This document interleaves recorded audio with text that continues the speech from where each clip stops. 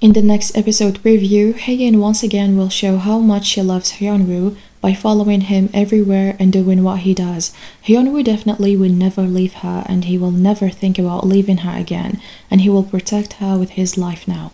And in the seventh episode, we saw the biggest plot twist and Haein lost her memory. Hyunwoo was super shocked and this was very difficult to him. He started crying and he was apologizing to her and Haein didn't understand anything but she said that she loves him. And this will make their relationship even more complicated and difficult since Haein lost her memory. Now she doesn't remember anything about the divorce but when she remembers again she will get hurt once again. In today's episode, after Haein found out about the divorce, Haein was heartbroken and she became distracted and lost to the point that she was almost trampled on the road.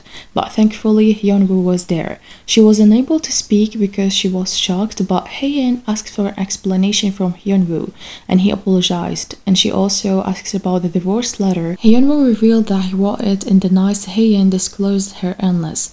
Then Haein questioned if everything Hyunwoo had done was a lie.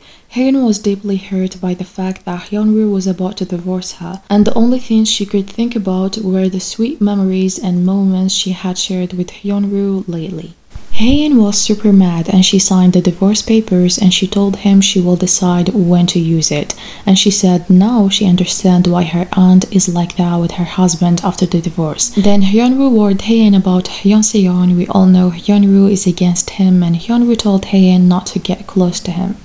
And as we know, Haein doesn't miss work and she went to work the next day in all red. And the relationship between them back to be cold and now everybody knows about that. And both of them are using secretaries to send messages to each other.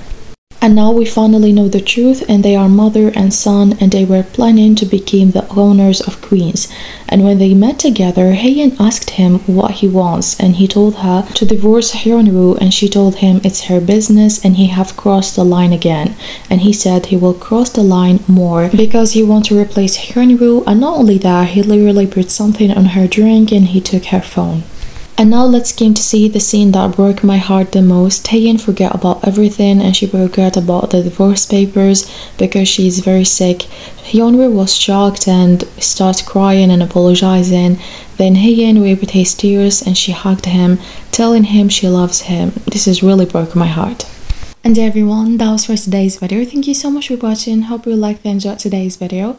Don't forget to share your opinion with me in the comments down below and tell me in the comments if you have any theory about episode 8. If you have one, don't forget to share it with us in the comments. Thank you so much again for watching. Please don't forget to subscribe to my channel so that you're going to see every single video that I posted about Queen of Tears. Thank you so much. See you in the next video. Take care of yourself and goodbye.